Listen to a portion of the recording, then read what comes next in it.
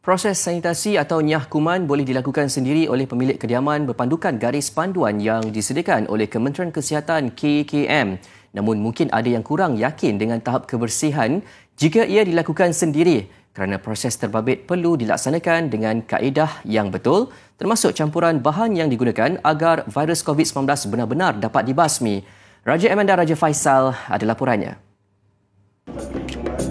antara alat yang diperlukan, alat semburan yang menetapi piawaan untuk semburan halus dan menyeluruh serta tablet disinfektan yang boleh membasmi kuman sehingga 99.9%. Walaupun pada tahap pH 6 iaitu di bawah carta asid, tablet ini tidak menyebabkan iritasi kulit dan tidak menghakis permukaan.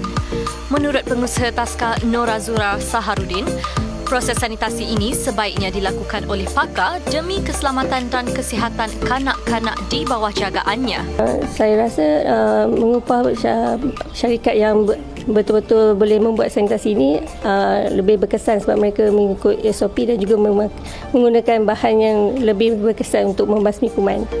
Proses disinfeksi di rumah juga disaran dilakukan jika mempunyai ahli keluarga yang ramai atau pernah dijangkiti COVID-19.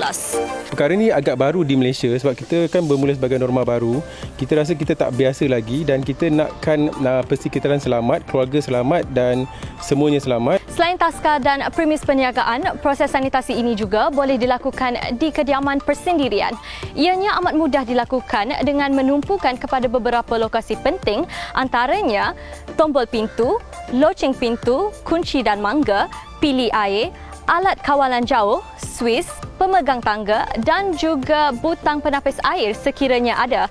Malah proses sanitasi ini juga boleh dilakukan sendiri oleh kita semua. Ingat, cegah sebelum terlambat.